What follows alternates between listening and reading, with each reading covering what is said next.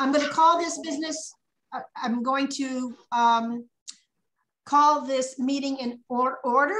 It is our annual meeting for um, 2021. And this is an annual meeting, not a business meeting, but an annual meeting celebrating uh, actually not only survival, um, but our ability to thrive even in the time of pandemic. It has been a remarkable year. I'm going to turn this over to Shelly, who are, is uh, our membership and outreach coordinator for a for more formal greeting. Go ahead, Shelly. Hey, Linda, thank you so much. I want to say howdy, howdy to everyone. Absolutely thrilled that you're able to make it. This is our 2021 Arizona Historical Society annual membership meeting. And we're thankful that you're here. We're thankful you made it through the past 18 months with us. And we're also thank you for your support. A crazy thing happened over the past year and a half, and that is AHS members really stepped it up. You folks have increased your support for us financially at a time where we needed it. So we are most grateful.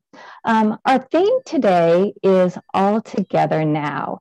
And um, it seems appropriate that we use this all together now theme because we're emerging from the pandemic. We're finally opening up our museums that have been shuttered we're also getting together for the first time for in-person meetings.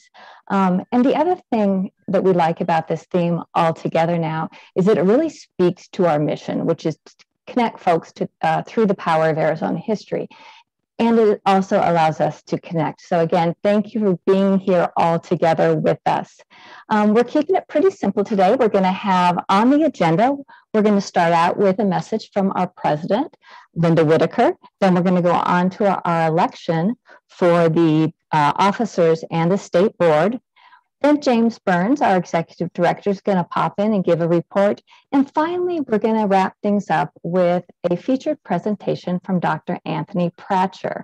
He, his uh, topic is Digging in the Crates. Not only is this a fantastic title, he is one of us. Um, you're going to learn a little bit about him, but he's a former AHS intern and researcher. So we're absolutely thrilled to, to be given a platform to one of our own. All righty. Um, a couple Zoom reminders. First of all, please use that chat box where you introduce yourself for comments and questions. Our friends Rebecca, Robert, and Marilyn are monitoring that chat and they'll get back um, with you guys as needed.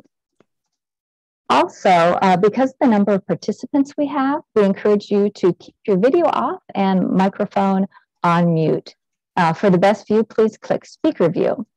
Um, and a lot of you have been asking, yes, this uh, meeting will be recorded and will eventually be posted to the AHS website.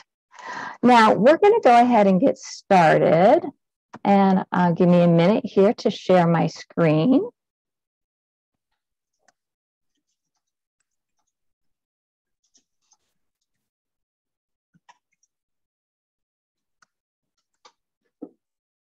Okay. All right. Linda Whitaker, give me a nod if you can see that screen that says all together. I can hear you, everything. Perfect. Yes. All righty. So um, before we get going on the meeting part of it, we want to find out about you. If we were in a normal meeting in a, a meeting room or, or one of our auditoriums, we could chat and we're not able to do that. So we're going to have a little poll. Ton, can you please call up our first poll? And you notice that I did say first poll. This is going to be an interactive meeting. Um, we're going to be asking you to vote a couple times. So we're just going to make sure that everyone's real comfortable with this polling feature. Sure, Shelly, here we go. Here's the first poll. Oh, my apologies. This worked I tested it a few moments ago. A moment, please. Todd, it might be because the screen is shared at the moment. I think it, it, we tested it and it worked, but uh, Shelly, if you could just not share for a moment, let, let's try that. Okay, there's your poll. Can everyone see the poll? Yes. All right. We'll keep that open for just a few minutes here. So, what we want to know is how long your family has lived in Arizona. And I, this is going to be really interesting because I know for a fact that we have someone here who's been around well over 100 years. So, just take a couple minutes or a couple seconds and, and let us know. And Ton, I can't see the poll, so I'm going to let you read the results when it's ready. Well, Shelley, uh, I am unfortunately unable to see the poll at this point either. So, Marilyn. Actually, nor can I. So it might be that the the host is the one who can see it, and that might be Marilyn. I can I can see it. I don't know how I'm the one that can see it, but I can. so you let me know when I can close it. Um, I just relaunched it, so if everybody wants to put their uh, poll numbers in again, we'll we'll give it about 30 seconds, and then I will end it and be able to share the results. Thank you, Rebecca.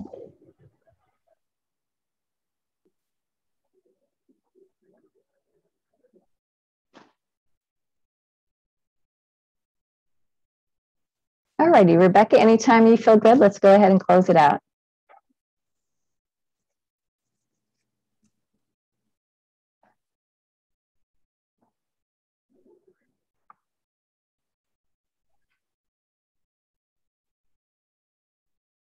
Now I can't see it, so you tell me if you can. we can see it. We can see Wonderful. it. So Linda, why don't you go ahead and tell us what that poll says? Thank you. Okay, uh, this is amazing because I really want to get to the last tier here. Zero to 10 years, 9% of those responding said zero to 10. Of those responding, 9% said 11 to 25. Of those responding, 35% said 26 to 50. Um, of those responding, 39% said 51 to 100 years. That's quite a spread. But the next one floors me more than 150 years, 9%. Someone can explain that to me. Anybody? And this is the time. Yeah, that. It's Bruce Gwynn. All righty. So thank you, Lynn, for helping me out there. And what's interesting about this poll is it, it really does tell you a lot about our membership. We have folks that uh, don't live in Arizona or who are new to Arizona. They're just people that are passionate about Arizona history or about the state. And then we've got some people who've been around for a really, really long time. So we are grateful wherever you are um, in your journey with the Arizona Historical Society. We're absolutely thrilled um, that you're here. I'm going to once again go ahead and share my screen. We've got the poll. Okay, now, okay, perfect. All righty. So thank you. That was wonderful to learn about you. And it is now my pleasure to turn things over to Linda Whitaker, who is our president. Okay. Um, my message is one of um, I marvel, I actually marvel of what we were able to do in this pandemic year. And uh, when I look at what the board goals were for this past year, we exceeded all of them. And uh, we had planned for an influx of maybe two to six new board members. And for those of you who are not aware, we are now a governor appointed board, have been to, since 2013. But up until the last maybe 15 months or so, um, we had more, far more vacancies than we had board members. We have um, on this board, we are this, one of the smallest agencies in the state, and we have one of the largest boards, state boards um, in the state, which makes it um, very interesting, very challenging. And uh, we had hoped for, planned for two to six new members. In point of fact, we had 14 new appointments to this board, 12 of whom are currently serving.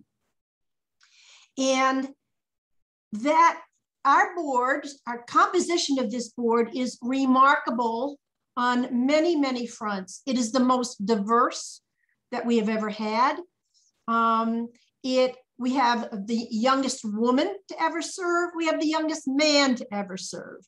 We have a member of um, um, one of the Native American tribes. We have um, uh, a marvelous Black woman from um, Douglas um, who serves on our executive committee. And we have representation from all over the state um, covering um, a wide variety of backgrounds, ages, and um, this, if I were to point to one reason why we were reaccredited for all four locations, we had never attempted that before. And in point of fact, um, AAM had never accredited anyone uh, during this pandemic. And we were the first ones to say they wondered if we were willing to give it a try virtually. And we said, yes, we're going to give it a try. And um, I have to tell you, uh, we came through with flying colors. One of the things they pointed to was the board. And we spent a fair amount of time in interviews regarding board, board function, board activity, um, orientation, um, and other kinds of, of things. They cross-examined us on the board more than once. And they could not believe that a governor appointed board could not only survive, but thrive and, um, and function apolitically. And we, and so it seems uh, that uh, we may become a model for um, other boards to follow. And um, I'm, I'm spending time on this because it came as a surprise to me that they would focus on this and point to it as one of the reasons for accreditation. That is no small achievement. Um, the things that I, and, and uh, my message is posted on the web, but um, the, I am proud of a lot of things we did this year. Um, I'm proud, very proud of some very difficult and bold moves that the board made to made us at the end of the year actually sustainable. We had, and I'm all credit to our um, treasurer, Jim Snitzer, who has the ability to put almost everything um, in one page and to make our finances understandable. But because of how he framed the budget and because of his 30,000 foot view, we were running through our reserves at nearly $667,000 a month. And I thought I would have to face you today to say we have to close. We are at the end of our reserves. But we took enough measures without laying off any staff. We have that down to $5,000 a month. Part of that um, is not filling uh, vacancies um, on the staff, which takes a lot of fortitude on behalf of the staff. But I want you to think about that for a minute. Um, when almost 30% of um, cultural institutions, um, uh, museums have closed, not planning to reopen anytime soon, we didn't have to, and we won't for the foreseeable future.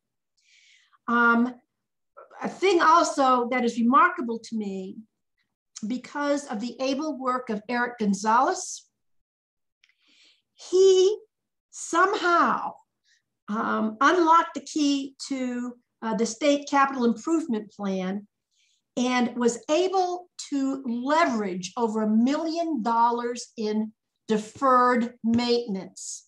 Let me repeat this. If you've had to live with a deferred maintenance list that doesn't only seems to grow with time, never seems to shrink, this is a man who actually made a dent in our deferred maintenance, uh, probably for the first time ever. Um, due to staff work, we applied for and received over $900,000 of uh, relief funding due to COVID. We also made a bold decision, um, even though we got a windfall donation in this past year, but we made the bold decision to invest it um, towards the infrastructure um, and the foundations for a capital can, uh, campaign. This includes a feasibility study and a comprehensive gift uh, policy. But what it does for the very first time ever is set us up for a very ambitious, maybe not even just statewide. We have people who um, are interested in us nationwide in terms of a capital campaign, very ambitious and um, also led by very, um, very bright people. Um, the, I mean, uh, the other thing um, is that uh, we did a 180 degree turn and uh, diverted routine tasks to online communications. We have reached more people, more places statewide um, state officials, organizations, members, and the general public than we have ever, ever done before. And this is a very, very interesting lesson in terms of where we need to invest in the future. Um, lastly, and I think Shelley alluded to this, and it is remarkable, it is absolutely remarkable, is that our AHS membership um, which had a steady decrease over time, has really leveled off. We've actually got new members, and the financial support of our members increased this past year 7%. This is at a time when those museum closures, statewide, nationally, is because their membership shrunk and that financial support shrunk with it. We didn't. We didn't. So we must be doing something right. Um, I'm going to pause here for a moment. And Marilyn, um, I'm going to just pause a minute. Um, then you can bring up the next um, uh, the next slide.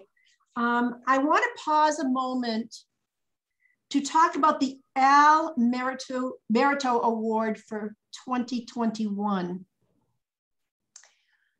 We live in exceptional times, and we have an opportunity to preserve the continuity of this award despite the COVID year. We actually, um, just in conversation with staff, thought that we would give it a bye this year.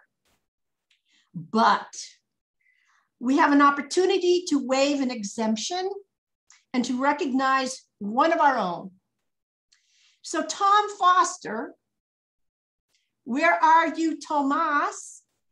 Tom Foster, you are going to be awarded our um, Al Merito Award for this year, 2021. Usually board members are exempted. But we have an opportunity this year to make this a special um, exemption. And let me tell you the criteria for it, which incidentally Tom exceeds. In order to qualify for this um, award, you have to have outstanding contributions or extraordinary efforts to interpret and disseminate Arizona history. You must have demonstrated enrichment of a community. You must serve as a role model for the preservation of Arizona history. Um, you must have served a number of years working in the field of Arizona history. I think he has tilled that field to the nth degree.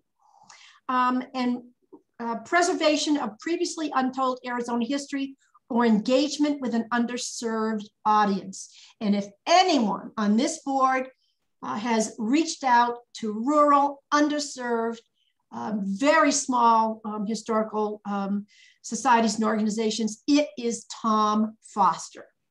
So, given fire, floods, the pandemic, keeping his own museum afloat, serving on the board and tirelessly reaching out and advocating for small uh, museums in Eastern Arizona, Tom has quietly earned this honor many times over. Tom embodies enthusiastic public service, commitment to AHS mission, and dedication to rural people and communities in Arizona. And Tom, over to you. Uh, I am absolutely, unbelievably left without comment. I this is an absolute surprise, and I uh, I humbly accept this. This is amazing. Thank you, Linda and board and all the members of AHS. This is amazing, and uh, wow, what a what a way to uh, to end the week. Just I'm I'm left really without comment. I I appreciate this greatly. This is very very kind, uh, and uh, I will I will do everything in my power to uh, continue to live up to uh, to all the things that you've enumerated here, Linda. Thank you very much.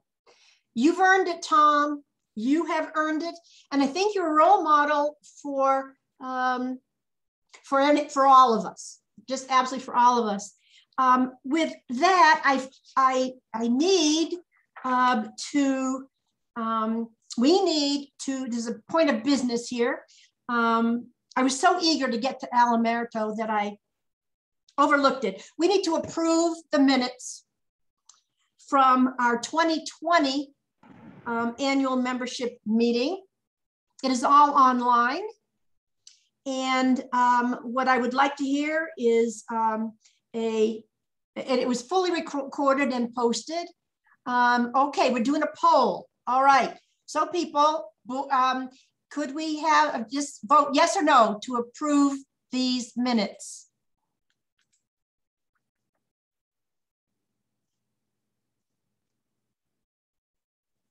And anytime you want to, Ton, either now or later, just let me know if we have more yays than nays. You need a motion first. If that case, uh, I no, we're just doing a uh, because of oh. board members. I mean, uh, our, our okay. membership is also voting. Okay. Okay. Okay, we have, uh, it seems that the voting has uh, slowed down here, Linda. Um, if anyone else wants to vote, yay or nay, on the approval of the minutes, please do so now. I'm going to end the poll. The annual 2020 annual meeting minutes has been approved unanimously. Um, poll is complete. Thank you. Okay, thanks. And now um, uh, we're going to turn this over to my fine colleague uh, from Yuma, Bruce Gwynn. I appreciate that wonderful introduction. Thank you very much. Um, I would like to present the slate for the officers for the 2021-2022 year. And that would be for President, Linda Whitaker, for Vice President, Eileen Snoddy, for Secretary, Bruce Gwynn, and for Treasurer, Jim Snitzer. Okay, um, I am going to uh, launch the poll here in a moment. Just a reminder um, to our participants, um, only members who are in good standing may vote. It is one vote per household. Um, and this is a simple yes or no vote. You're approving the entire slate of officers. You must be on uh, video in order to see the poll. So I'm going to leave it open here for um, until it looks like we've, we've got all the votes are in. Um, and just to, assure you, we will validate that everyone who voted was eligible to vote after the fact, and we will include that information in the minutes uh, when those are posted. So with that, I'm going to launch the poll. And you are approving the slate of officers, yes or no?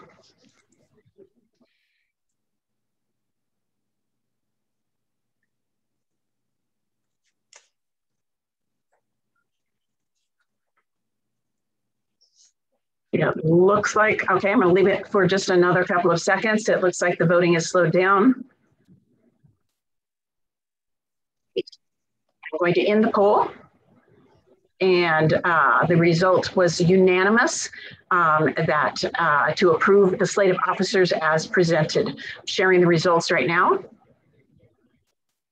And again, we will verify that everyone who was eligible to vote, um, that, that everyone who voted was eligible to vote after the fact. But it, it was unanimous. Thank you, Bruce. You're welcome.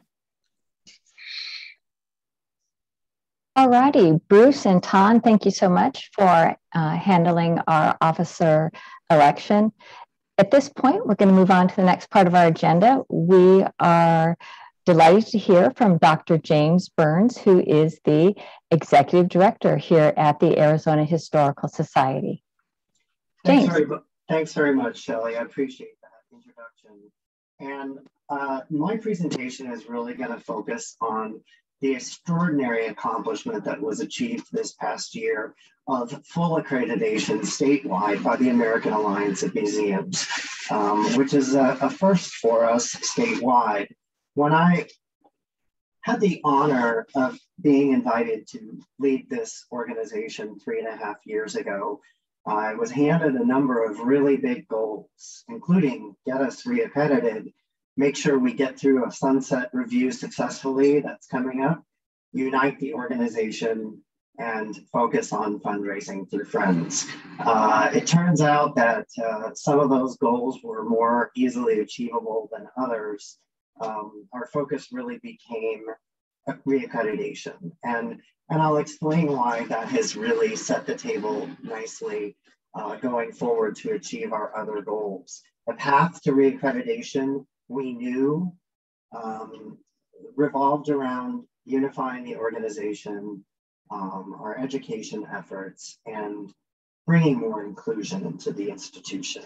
It was a three year journey, and all of the work that we have done together, all stakeholders, staff, boards, members, since 2018 has been focused on attaining that reaccreditation. So, why seek it? Why do we care? because it really increases credibility and value with funders, policymakers, local communities, and peer organizations. It signals that the organization is achieving its stated mission and goals. It indicates the organization's performance is meeting standards and best practices, as generally understood within the museum field at large. And it's a mark of distinction that only about 3% of all museums in the United States have attained. Also, it really prepares us and positions us well for a successful sunset review coming up in 2023 and for launching a capital campaign. So what was the result? Well, most of you know by now, the first statewide AAM accreditation for AHS. AHS was first accredited in 1999 and reaccredited in 20, reaccredited in 2006, but both times the distinction was granted only to our flagship facility in Tucson, the Arizona History Museum. Now we have accreditation for the Arizona Heritage Center, the Arizona History Museum, the Pioneer Museum, and the Sanguinetti House Museum and Gardens. What were some of the stakeholder reactions? My favorite, I've shown a few of my favorites here. Governor Ducey tweeted, huge achievement.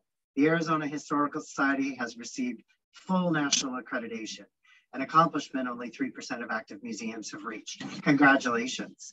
And Laura Lott, the CEO of AAM, what a great story. She's referencing a story that was printed about our achievement in the Tucson Sentinel. Thank you for bringing this to my attention and just in time for our board meeting this week. I'll definitely share with the board and the AAM team as an example of the power of accreditation, as well as how savvy directors can use the process to advance relevance, culture change, and equity work in their institutions. We're only going to make that connection stronger in the coming years. And congratulations to you again. Following the harrowing past 16 plus months, it's truly heartwarming and inspiring to hear about all that you're doing at AHS. Kudos, I'm in awe, and I cannot wait to visit. And finally, Coral Evans, Northern Office Director for the Office of US Senator Mark Kelly. Quote, I saw this on Facebook and I seriously jumped out of my chair in joy.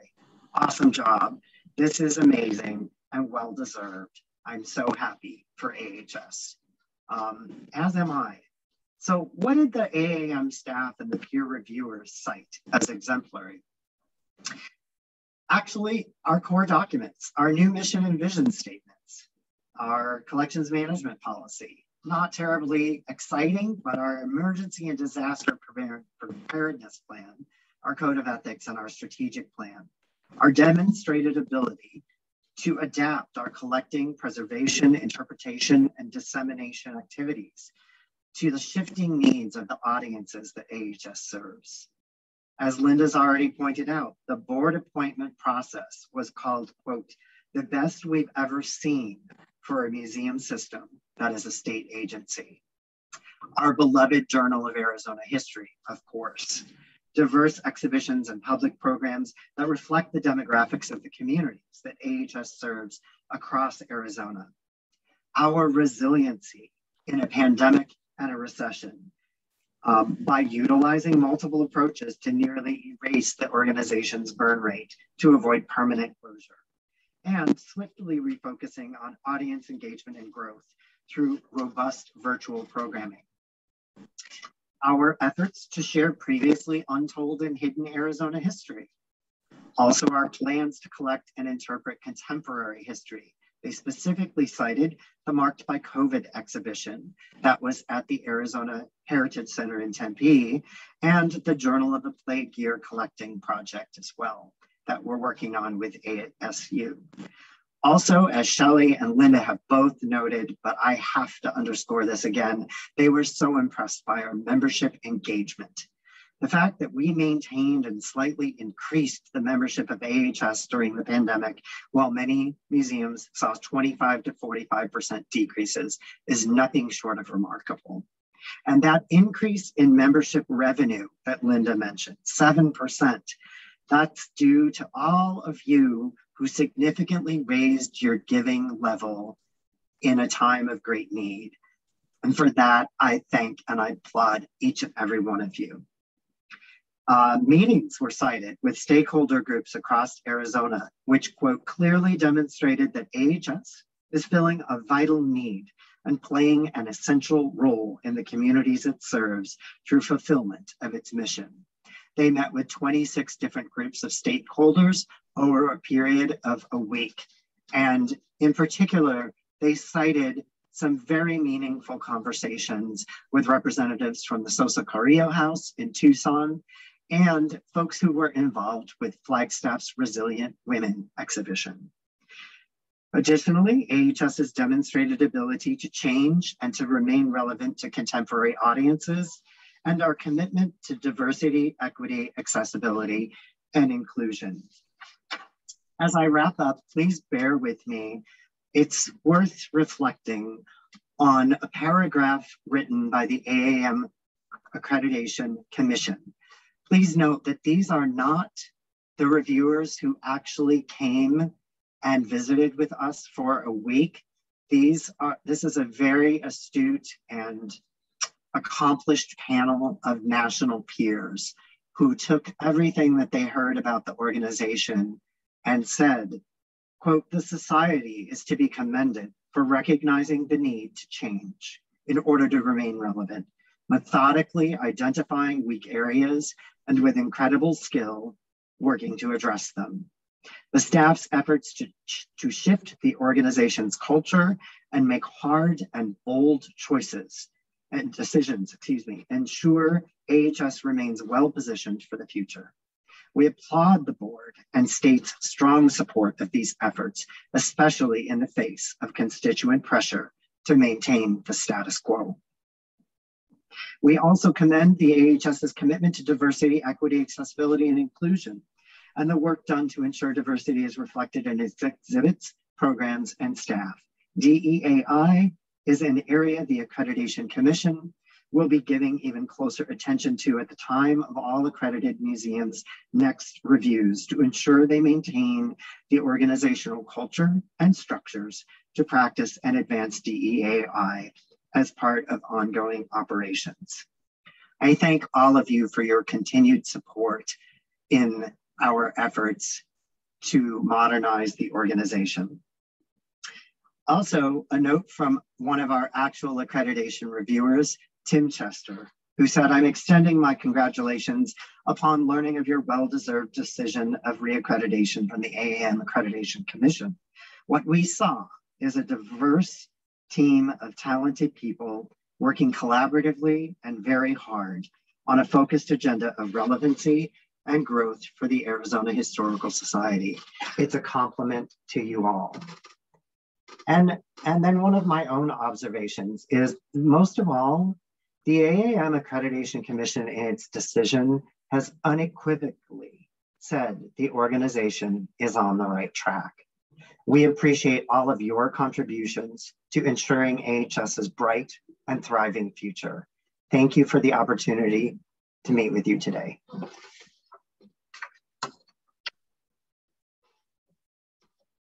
All right, James, thanks so much for sharing uh, with the membership the great news of our accreditation.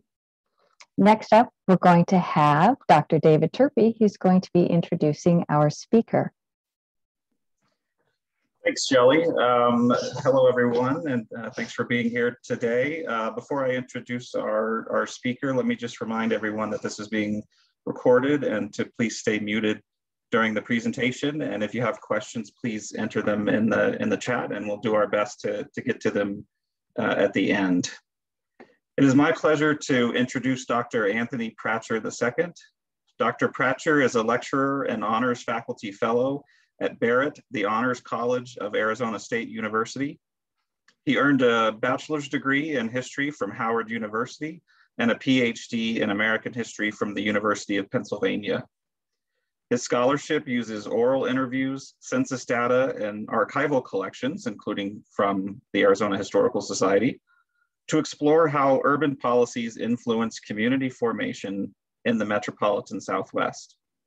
He also serves on the board for the George Washington Carver Museum and Cultural Center in Phoenix.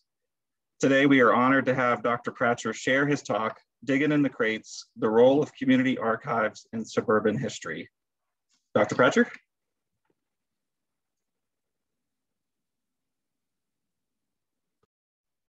Thank you, David. I very much appreciate that introduction. Okay, good afternoon, everyone. Let me begin by sharing with you my screen.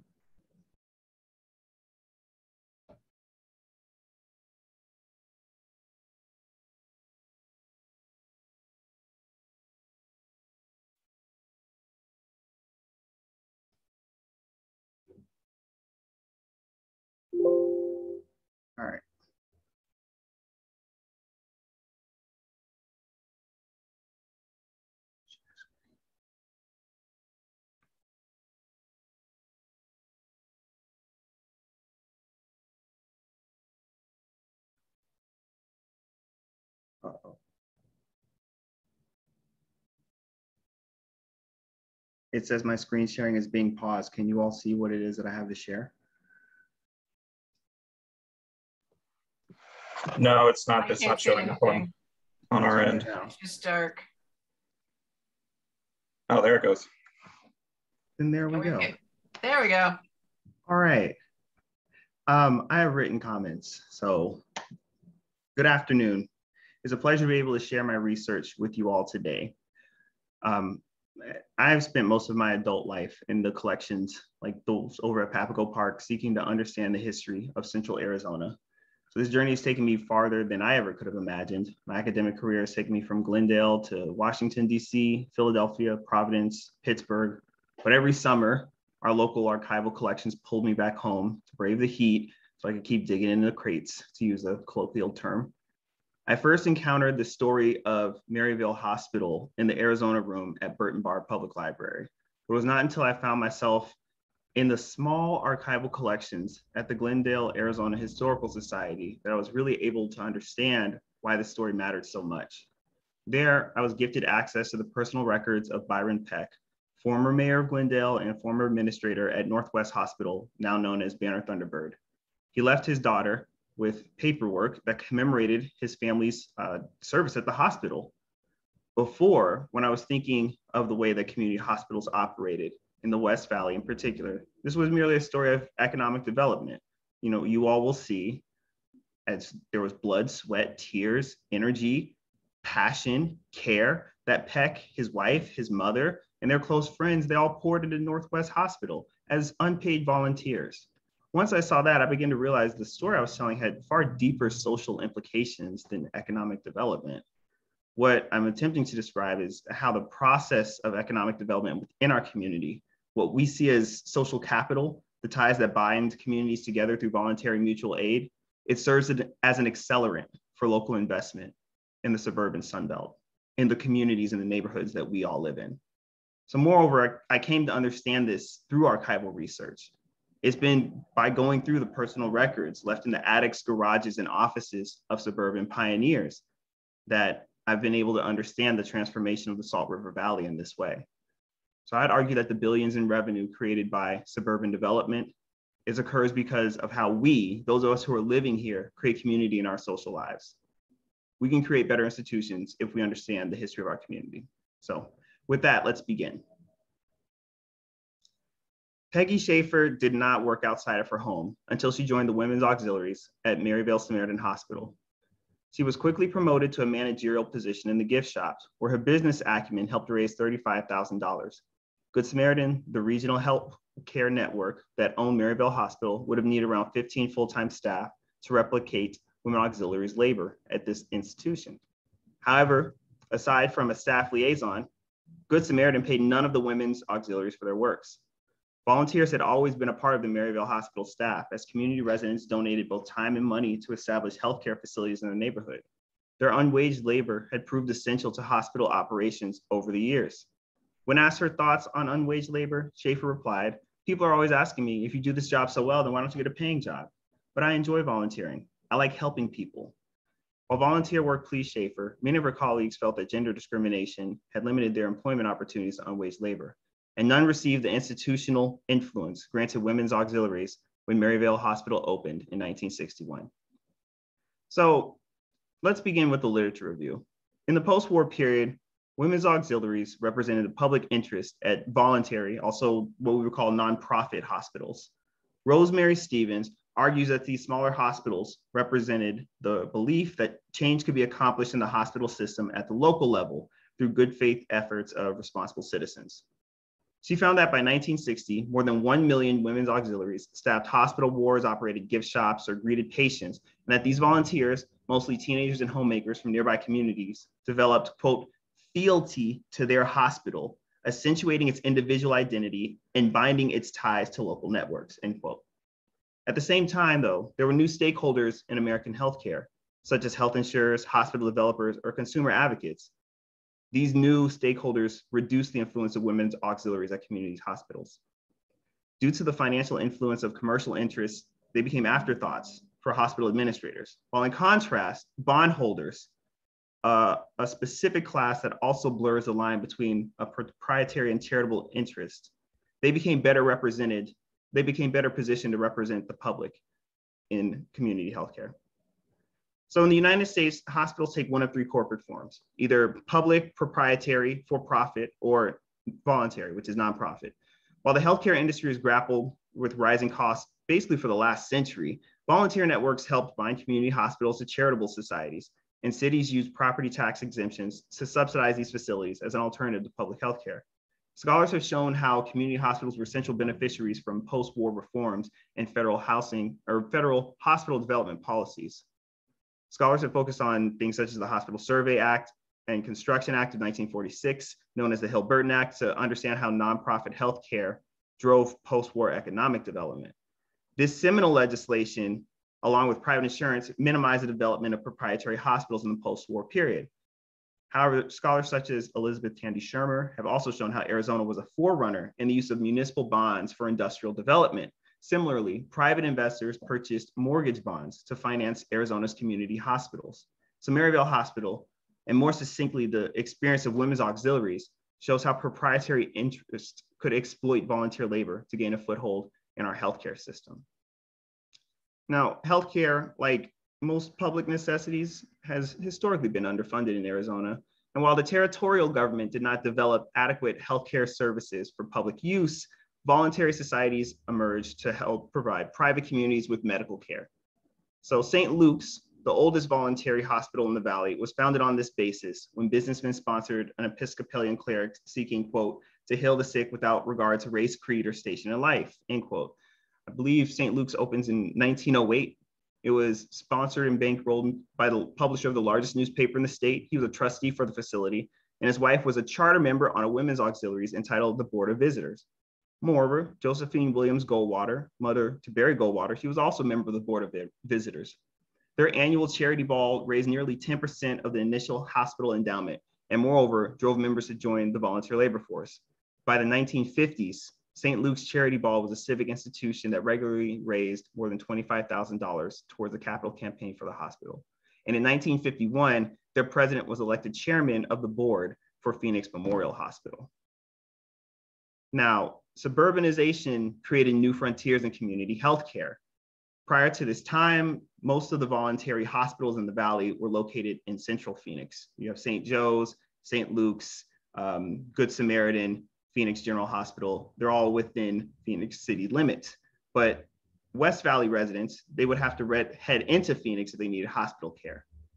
By the 50s, though, the Glendale Chamber saw a need for community health care as thousands of new homes were sprouting in the surrounding agricultural hinterland. According to records at the Glendale, Arizona Historical Society, there have been previous attempts to develop a local hospital, but they had all failed due to, quote, apathy and lack of cooperation on the part of doctors and most of the residents of Glendale. In 1957, Michael Wachner and Charles Crone, two hospital developers from Southern Arizona, advanced the Glendale Chamber 35,000 to five, five acres from Ruth Waite. However, the nonprofit hospital board led by the wife of Glendale Chamber president, disbanded once they realized there would not be Hill Burton funds available for construction. Undeterred, Glendale Mayor Byron Peck joined with several leading businessmen to pursue a private alternative, interest-bearing bonds sold to local investors. Leaders in the Phoenix Chamber of Commerce loudly advocated for security regulators to allow Arizona banks to offer interest-bearing bonds on behalf of nonprofit corporations. Mortgage bonds force community hospitals to prioritize proprietary aspects of their charitable mission and granted investors influence over hospital boards. These attractive investments with low default rates due to perpetual revenue would eventually burgeon into a half trillion dollar hospital construction financing bond market at the national level. But first, at the local level, Arizonans had to be convinced that hospital mortgage bonds were a worthy investment. Maricopa County proved surprisingly disinterested in the utility of these investments. Peck believed that the voluntary hospitals, quote, fear the competition from new hospitals and convinced local professionals that community hospitals were being led by, again, quote, a bunch of crooks. Peck asked Glendale medical doctors to get behind this effort and put it across, as he said, lest we shut our eyes as we've done before and let someone else do it. And he pleaded with community residents to, quote, dig into their funds to help with the hospital bond sales. Crone hired Gloria Hale to sell bonds while he set up the nonprofit corporation. And while donations from local corporations like First National Bank, APS, and SRP helped raise enough funds to begin construction, this momentum waned as local investors saw financial turmoil at nearby community hospitals. So in 1960, Peck's wife, along with the wives of his colleague, helped form a women's auxiliaries at Northwest Hospital. A trained official from another hospital met to detail what procedures would be necessary to incorporate an auxiliary and how that organization would benefit Northwest Hospital. One of their primary purposes would to be to create good public relations and uh, community understanding between the hospital and the surrounding area.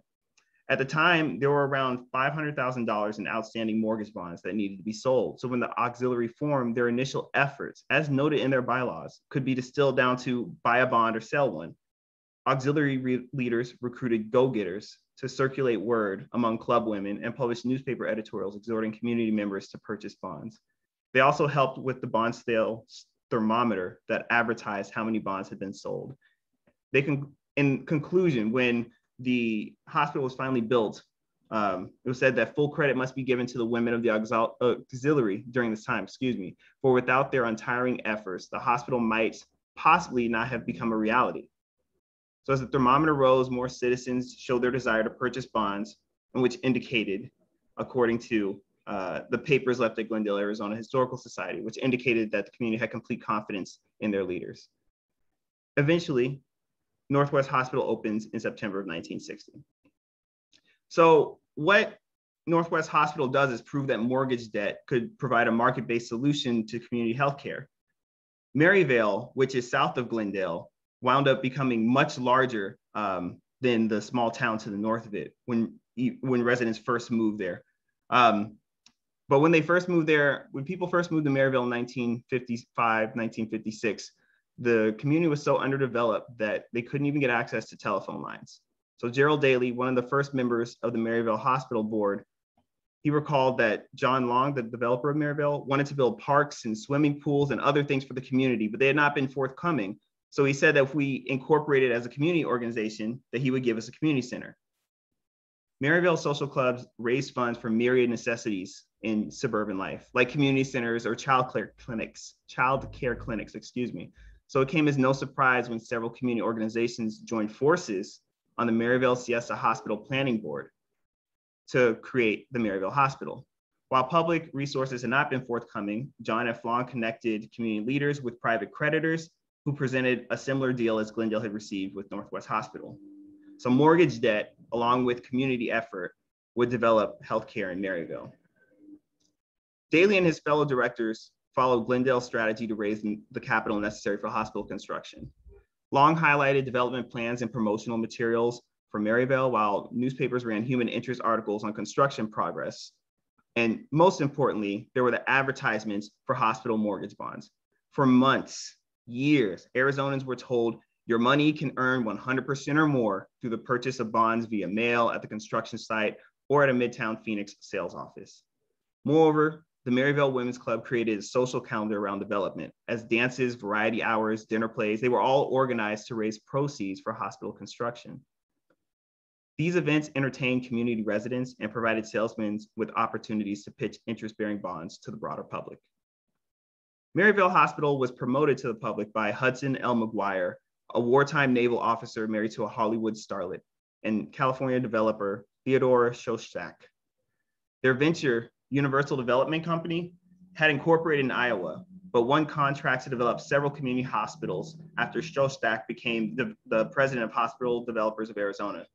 Their promotion was highlighted by claims that their salesmen could, so, could sell a half million dollars in mortgage bonds monthly. And this activity, it helped boost real estate development in the area. Uh, homeowners, they would act, advertise proximity to Maryvale Hospital when selling neighborhood property while builders leased nearby land to build medical centers.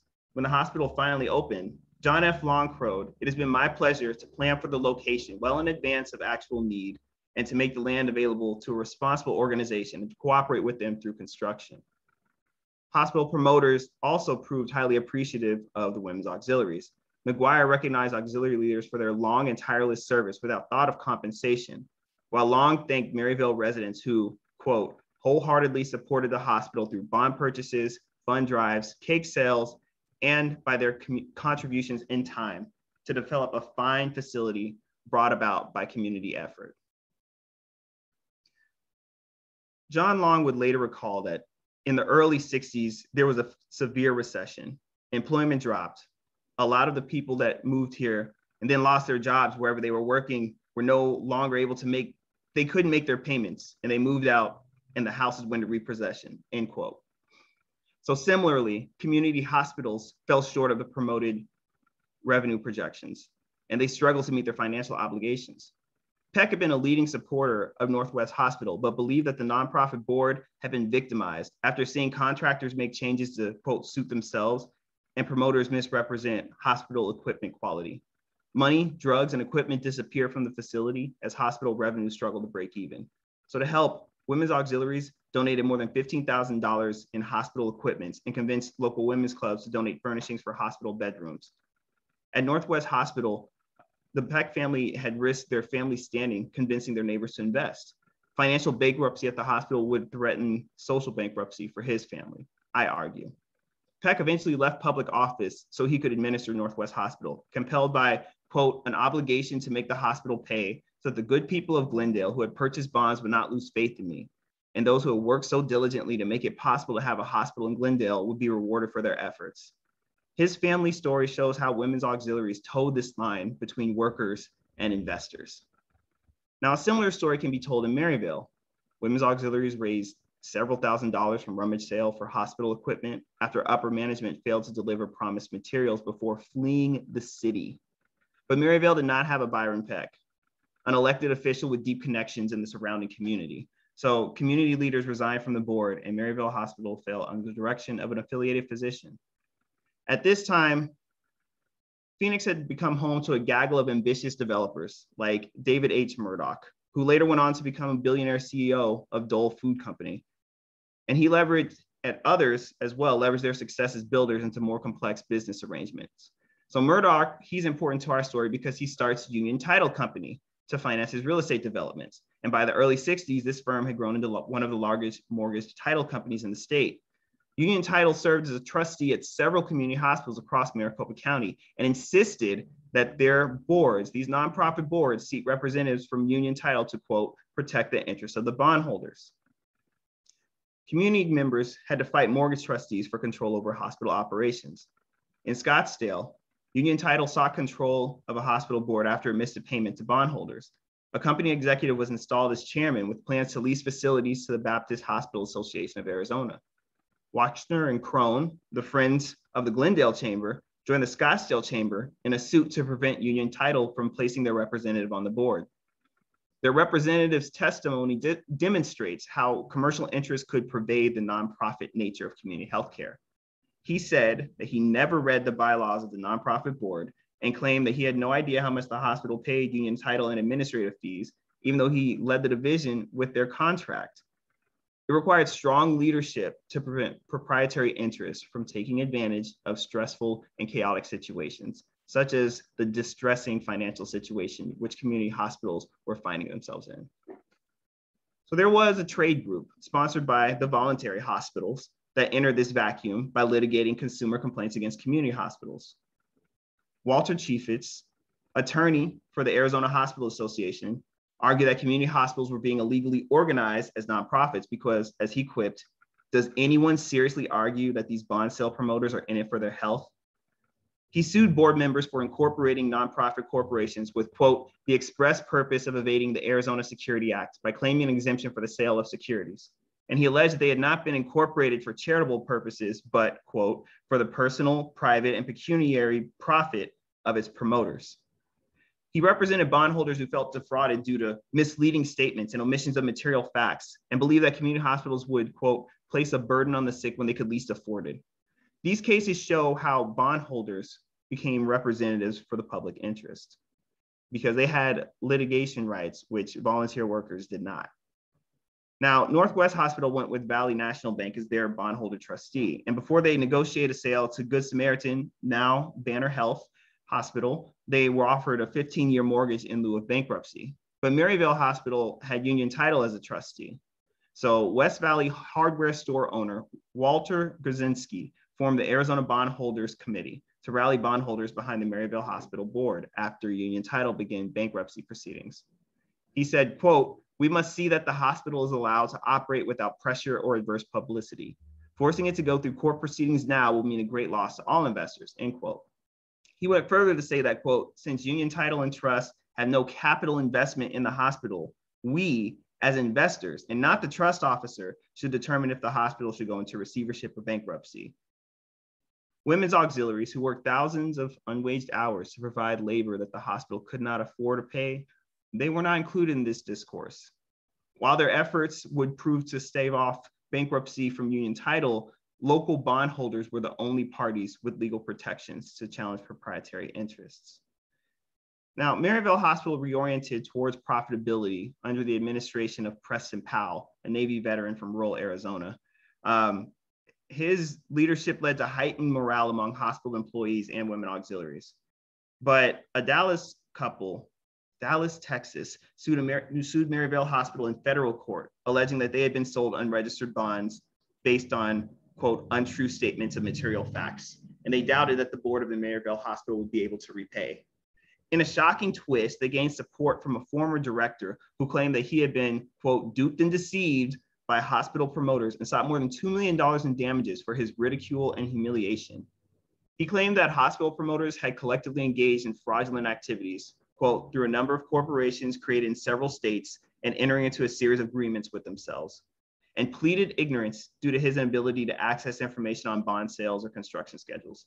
Shortly after, Union Title filed suit in Arizona Superior Court to put the hospital into receivership in order to preserve its assets. During the lawsuit, Paul Powell had apocryphally argued that there is some parties or parties behind the scenes making every effort to gain control of this hospital. Ronald Wilpitz, the director of Marcus J. Lawrence Hospital in Yavapai County, he was appointed trustee by a federal judge the following year, and his first course of action was to fire Powell. For women's auxiliaries, this proved to be the final straw. Their president, Anna Cohn, had become well respected across Maryvale for her dedication to volunteer work. And she had every reason to assume that this entreaty would be taken seriously by, by hospital administrators. She admitted that morale among volunteers had fallen to a low ebb when she sent written protests demanding to know what engineered the removal. In response, Wilpitz glibly replied, That would be hard to say. One might say diverse interests, doctors, shareholders, who knows? End quote. That was a quote in the newspaper. He argued that Powell had been an unable administrator and issued a statement which claimed that, quote, the dismissal was certainly not a reflection of Mr. Powell, but due to differences of judgment, which Wilpitz characterizes a business judgment of trustee, end quote. So in this sense, while these two communities shouldn't be seen as mutually exclusive, bondholders superseded women's auxiliaries in voluntary healthcare. And I do argue this because what we see in the early 50s is women's auxiliaries being promoted to being chair people of hospitals, you know? But by the 1960s, with the advent of proprietary interests in nonprofit healthcare, women's auxiliaries as workers can't get a meeting with an administrator or with a trustee when an administrator has been fired. So in just 15 years, you see a really dramatic shift of power away from the women who are volunteering and working there to, in many ways, the men who are representing the financial interests uh, of the public. That being said, I do think we need to remember that these two groups are often interrelated, as we see with Peck and his family.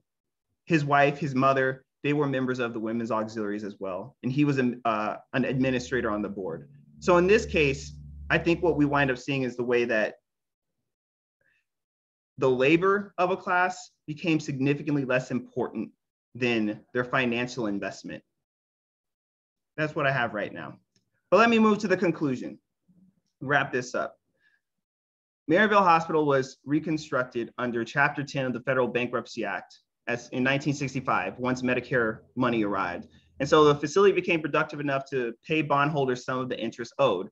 In July of 65, a federal judge approved a 2% payment to bondholders, followed by a 3% payment in November and a 5% payment in 1966.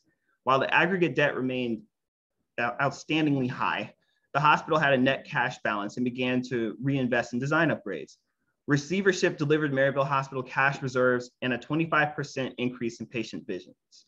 So by 1967, Lutheran Hospitals and Homes Society of Fargo, North Dakota, an entity with more than 80 facilities across the nation, they sought to acquire Maryvale Hospital after purchasing the similarly distressed Mesa Lutheran Hospital. Soon after that, the Sisters of Benedict from Ferdinand, Indiana, they also tried to purchase Maryvale Hospital, but after a bidding war, Good Samaritan, now Banner Health, purchased Maryvale Hospital for $5 million in 1968. So the sacrifices of women's auxiliaries, they kept Maryvale Hospital running until it could finally become a financial success.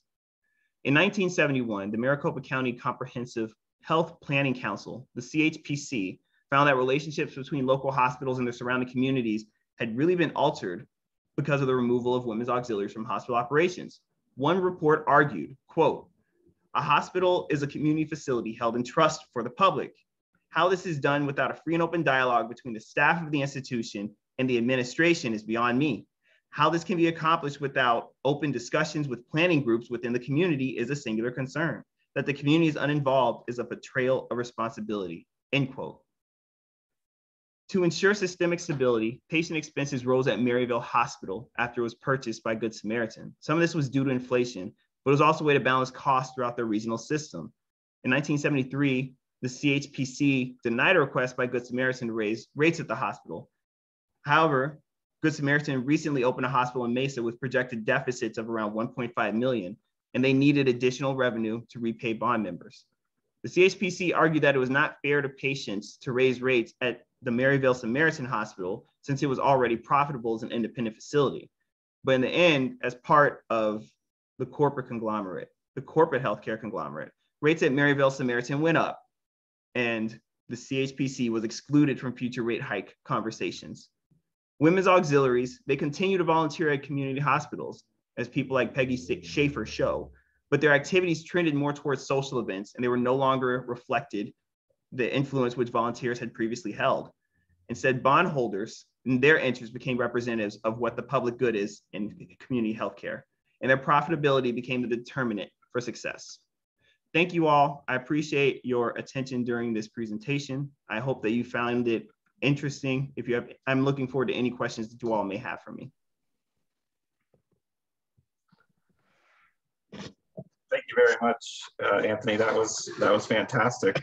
Um, well, we have a we have a few minutes uh, for questions um, for Dr. Pratcher. So um, uh, if we have any questions, um, please post them in the chat. Um, I, will get I'll get things kicked off. I, I, I guess I had a question um, about uh, how much this is this story that you're that you that you told us today is unique to the to the Phoenix metro area, or do we see similar trends playing out across other growing urban areas in, in the West or maybe other areas of the country? I think that this story is certainly it's a Phoenix story, but it's indicative of the development of um, of healthcare across the country. One of the things that you see within urban history um, is this description of a meds and eds, a meds and eds um, economic model. You see it in particular in Rust Belt City. So there's been a lot of literature on places like Pittsburgh, um, in particular, looking at their uh, economic resurgence in the latter part, in the last part of the 20th century and how it's tied to healthcare development. So I think when we look at the Rust Belt in some ways um, as a foil to the Sun Belt, what we then wind up seeing is that policies, practices that emerge here in the 60s they make their way up north during the 70s and 80s. And so you wind up having this longer sort of national discussion on the way of um, that healthcare can drive economic development. But I do think that you find the origins of these policies and practices in the Phoenix area. This is the earliest I've seen uh, this specific type of investment. Okay, really interesting. Um, we it looks like we don't have any questions yet, but maybe a few comments. Um, let me see, Linda Winokur said, uh, Dr. Pratcher has established a firm foundation to study hospital development in Arizona. Did you know we have St. Luke's as well as their Women's Auxiliary Hospital uh, visitor records at uh, the AHS archives in Tempe? I did not know that, thank you. Can't wait to look at them. Uh, we have another comment from Christine Larson. I loved hearing uh, the power of women. I'm researching the same story of in the community in Buckeye. Uh, so please, please, if you have any questions, uh, please, please post them in, in the chat. Um, I, I, guess I, I'd love to hear a little bit more about some of the, the collections that you, that you looked at. I was particularly interested about the one at the local historical society in, in Glendale, Arizona. Um, could you, could you talk a little bit about, about what's, what's there?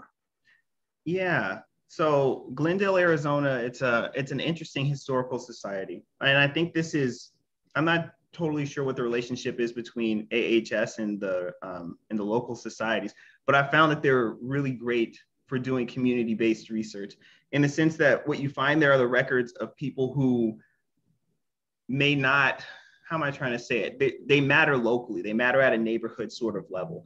Um, you'll find yearbooks there. You'll find um, records from some of the the local clubs. I do want to say, yeah, there might be some women's clubs records there. Lots of old newspapers for sure. Um, but what you find are records left by the community institutions. They'll have uh, index files where they'll index by topic and you're able to see what goes on at this sort of grassroots level. And that, the reason I think this really matters though is when we are talking about um, about academic histories, it's often at 30,000 feet. And it's very difficult to do suburban history from that level. So much of what goes on in suburbs is granular and repetitive. But because of that, it allows you to look at the way that policies at a federal level are implemented at the hyper local level. So by going into these, you know, community archives effectively with records that are just left by people who are almost, you know, amateur historians, people who just care about preserving the stories in their neighborhood, um, what you wind up finding is the connection between the meta narrative and the individual experience. So I really do recommend um, people going and just seeing what's stored at their local community archive just to get a sense of the neighborhoods that they're living in. So I, what I've found is a much greater sense of connection to the people around me and to the broader stories of this country by seeing these records in such a personal and intimate type of way. Yeah, thank you. Thank you very much. Um, looks like we have another comment from, from Linda. St. Luke's was the first hospital in Arizona and one of the first in the nation to be purchased by a nonprofit out-of-state corporation. Hmm, okay, thank you, Linda. Um, maybe perhaps you could tell us a little bit about, um, I know you're revising your dissertation for to hopefully be published as a book and that, but I also noticed that you're working on a new project as well, which is, is pretty amazing that you're juggling two large projects like that. I wonder if you could maybe just give us a little uh, little uh, information on, on those two projects. Yeah, so my dissertation was a study of Phoenix. It was a study of um, municipal annexation primarily and looking at the way in which that specific urban policy helps the city grow. Um, it took a very circuitous route, but I got involved in a specific discourse surrounding settler colonialism. And so understanding the way that urban annexation can be used to dis dispossess communities of color of political sovereignty and the land that accompanies that. That story is in many ways near and dear to my heart. But after seeing the unrest last year, after the deaths of Dion Johnson and George Floyd, I really wanted to work on an African American history for Phoenix and really for the broader Southwest. Phoenix is um, Arizona has a very under researched, under theorized African American experience. We have the largest Black population in the West outside of Texas and California, which in some ways makes sense. But when you think of the fact that there are many other metropolitan communities, Albuquerque, Denver, Seattle, with similar, with longer in many ways, uh, Black histories, um, what we have here is a whole bunch of people who's kind of showed up at once without necessarily having a way of determining where we're all coming out of. So I've spent the last year trying to go through and I'm calling it searching for my people, but really search to see where I can find African Americans um, represented in the Phoenix experience. It's been tough in the archives. There's not a lot available, but what I find interesting is that much of the work that I did for my dissertation prepared me for this project because when you really start sifting through, you realize that African Americans are everywhere. So, case in point, um, in 1962, the Franklins, they were um, a couple from the Bay, an African American couple from uh, the San Francisco area. Their husband was a uh, he was a retired military man. Wife was, uh, I believe, a real estate agent. They wind up purchasing a home maybe about 500 feet from Maryvale Hospital. At this time, it's very interesting the way that they purchased it. So there was a dealer between them and the original homeowner. The original homeowner sold it to an out of state buyer who did not have or who had an anti discrimination clause in his mortgage, while the in state buyer did have a discrimination clause in his mortgage. So the Franklins were able to buy it because an out of state interest was able to help them basically evade racial restrictions. And they were one of the first Black families to move into the Maryvale area all the way back in 1962. And so when I think even of this project that I just shared with you all, you know, I wonder what was the community that they were moving into like? What were their neighbors like? What were the community institutions like? And I think one of the things that we wind up seeing then is that African Americans were always represented in these neighborhoods. There have always been one or two or three. But what's interesting is the way in which African American communities wound up emerging and developing in places that proved to be often the most unstable in the valley. So I'm still trying to dig through, excavate, and figure out what this story is. But I think that the work I've done thus far is putting me on a path to make both of these projects make sense at the same time. Thank you for sharing that. That sounds that sounds fantastic. Um, I believe we have a question from uh, Dr. Colleen Byron. Uh, Colleen, you want to unmute and ask your question? I do, but of course you you got me right when when I put something in my mouth. Um,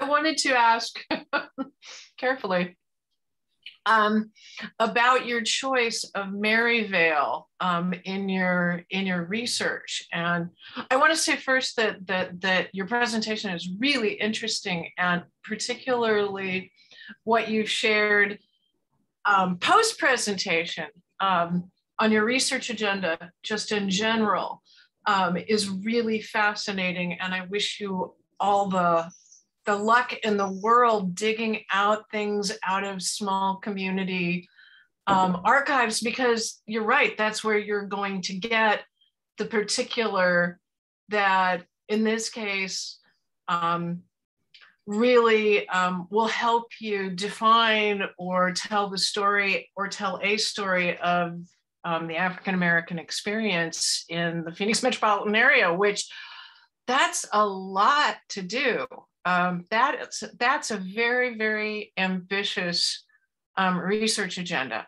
Um, but my, my primary question is, um, why did you decide to start your telescoping out in Maryvale? It's a fascinating community. It's been a fascinating community for forever.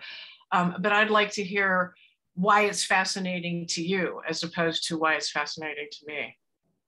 Absolutely um, a long, almost a lifetime ago at this point. But when I was in grad school, I was fortunate enough to get a meeting with uh, Dr. Phil Vandermeer over at ASU Tempe. And so I told him about my interest in doing an urban history of the Valley. And I asked him how to approach such a topic because, as you said, it's so sprawling. I mean, there's really just so much to do. He said to me, Well, you know, you just focus on a neighborhood. You find a neighborhood and you build it out that way. And so I, being a West, you know, a West Sider, um, I figured Maryvale would be a good place for me to start. It was familiar enough, and um, it was close to where I was at. It was a place that I felt like I already had a modicum of understanding about. So I began um, at the Burton Barr Library in the Arizona room, just trying to dig up what I could. And really, this project has has spilled out from there. What I found was that Maryvale, I mean, Maryvale is where much of this post-war stuff begins. I know that the East Valley is much larger than the West Valley in this sense, but Maryvale is a sort of proof of concept that allows for the master plan communities that are all over Maricopa County, all over the state at this point, to really take off. So in my sense, Maryvale, by understanding it, we understand out of what much of central Arizona is coming out of. So I just decided to go to the source and build out from there. Thank you very much. Thank you. Thanks for the question, uh, Colleen. And uh, we also have another question from uh, Lowell Perry. Okay. Okay. Um, first of all, great presentation. Really enjoyed it. And um, part of this is is really more of a, a comment. I wanted to uh, congratulate you on, on on really trying to do a deep dive on the black experience here in this state. And we're in the process of doing more of that here in Yuma. Uh, at the Colorado River State Historic Park, we're engaging in some oral histories and, and video histories and would love to um, pick your brain on it, maybe involve you in it. Um, I put my information in the chat in a, in a message to you.